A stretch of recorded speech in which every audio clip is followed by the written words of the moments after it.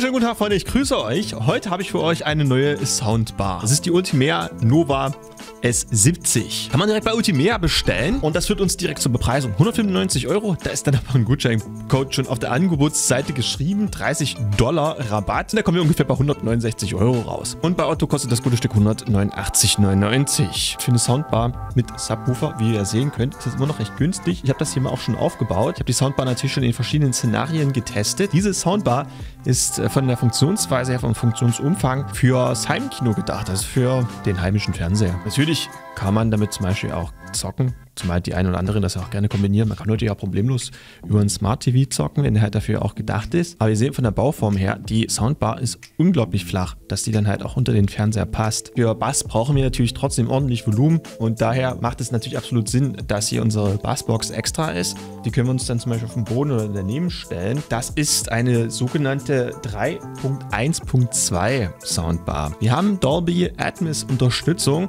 und Dolby Atmos sorgt ja für eine gewisse Räumlichkeit. Das heißt, wenn wir uns einen Film anschauen, dass wir lokalisieren können, wo jetzt die Sounds herkommen. Das ist natürlich nice, weil man dann wesentlich tiefer in den Film eintauchen kann. Ich hatte jetzt zuletzt eine andere Soundbar von Ultimea vorgestellt. Ich glaube, die war ein bisschen teurer. Da waren dann Satelliten dabei, die man sich dann halt im Raum positioniert und hat man dadurch eben die Räumlichkeit. Hier hat man sich allerdings was anderes überlegt und das ist eigentlich recht spannend. Wir haben ja im Prinzip eine zentrale Soundbar, wobei das nicht so ganz stimmt. Die besteht aus zwei Teilen.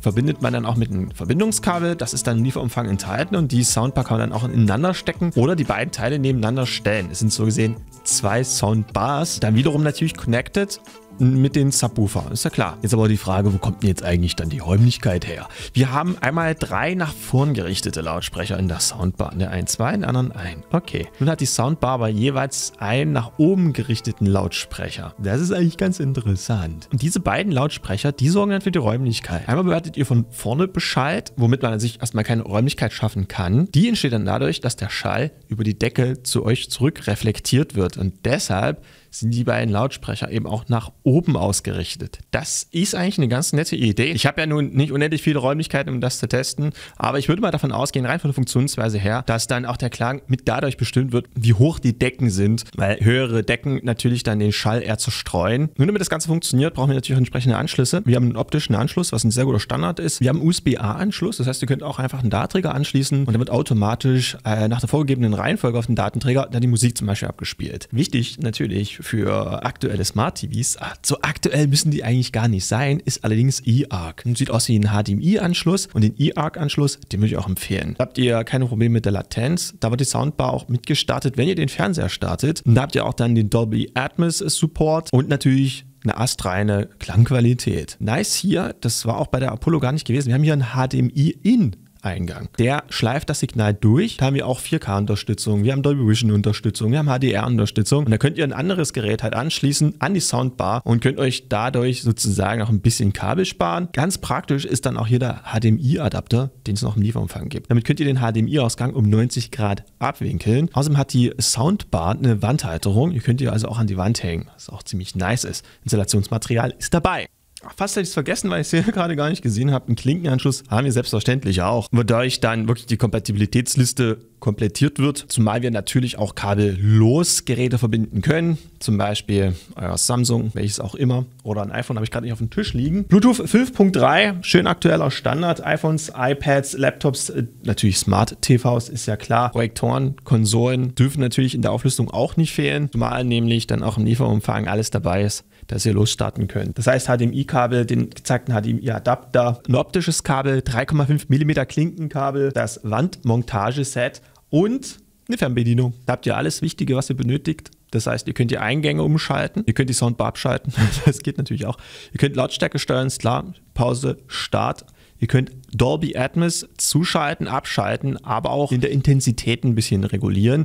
Und es gibt noch klar, Bass MX. Das heißt, ihr könnt den Bass hier auch steuern und bei Bedarf jetzt zum Beispiel auch ein bisschen zurücknehmen. Was die wenigsten wahrscheinlich machen. Die meisten werden sich ja wahrscheinlich auf Maximum einstellen. Stummschalten geht selbstverständlich auch. Dabei sieht man das dann alles an den kleinen Display, welches integriert ist. Richtig geil ist, dass es für das Display einen Timeout gibt. Das heißt, schaltet sich automatisch ab und schaltet sich dann an, wenn man etwas halt einstellt an der Soundbar. Da hat man mich dann eine Quelle weniger, die einen ablenken kann, wenn man einen Film schaut, gerade nachts. Deshalb wird das Display automatisch deaktiviert. Haben sie mitgedacht. Wie gesagt, die Soundbar ist halt optimiert für einen Fernseher, für Netflix, für Amazon Prime, ähm, Disney Plus und die ganzen Streaming-Anbieter halt Serien, Filme, was es da so gibt. Und das macht auch Sinn, weil die internen Lautsprecher und selbst wenn die noch so gut abschneiden in den Tests, von den Smart TVs meistens echt schlecht sind. Also, ihr wisst, ich stehe ja zum Beispiel auf die Xiaomi-Fernseher in den guten Preis-Leistungs-Verhältnis, aber hin wie her, das Bild ja, aber die Lautsprecher würde ich mir nie freiwillig geben. Das sind nur Gehhilfen, die ich halt echt nur zur Not verwende. Ansonsten Minimum irgendwelche alten Regallautsprecher über Klinke dran geklöppelt. Was natürlich dann besser ist, äh, eine richtig gute Soundbar. Im Gegensatz dazu kommen eben solche Soundbars mit ja, Dolby Atmos zum Beispiel klar und können auch eine gewisse Räumlichkeit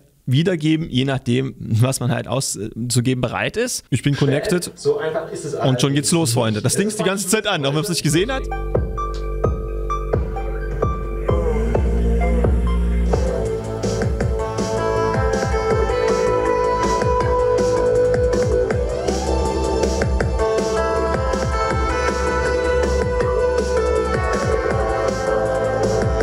Wunderschönen guten Tag, Freunde. Ich grüße euch. Ich habe heute für euch einen weiteren Mini-PC von Ace Magic, der AD. Recht erfrischend. Und natürlich ist es kein normales Smartphone, Freunde. Neben der Tatsache, dass es zu klein ist, haben wir auf der Rückseite nämlich noch ein zweites Display, welches uns einige Informationen anzeigt. Also die EQs sollte man auf jeden Fall benutzen. Es gibt ja auch Voreinstellungen, die man über die äh, Fernbedienung hier auch auswählen kann. Gibt es hier eine EQ-Taste. Es sind nur drei EQs. Wir haben Musik, Game und Dialog. Das heißt, schaue ich mir jetzt zum Beispiel ein Review an hier über YouTube. Dialog ist klar. Movie nehme ich natürlich dann, wenn ich mir einen Film oder eine Serie anschaue und Musik, wenn ich Musik hören möchte. Und dann habe ich wirklich eine ganz andere Abstimmung und auch ein ganz anderes Ergebnis. Das sollte man sich auswählen. Geil bei der Soundbar ist, dass jetzt nicht 1, 2, 3 steht, wie es bei der Apollo noch der Fall war, sondern es wird im Display direkt angezeigt, welche Voreinstellungen, also welche EQ-Presettings ich jetzt ausgewählt habe. Und das finde ich tatsächlich ein bisschen ein Vorteil. Ich musste früher mal eine Gebrauchsanweisung blättern bei der Poseidon. Ja, welchen EQ habe ich jetzt eigentlich? Neben der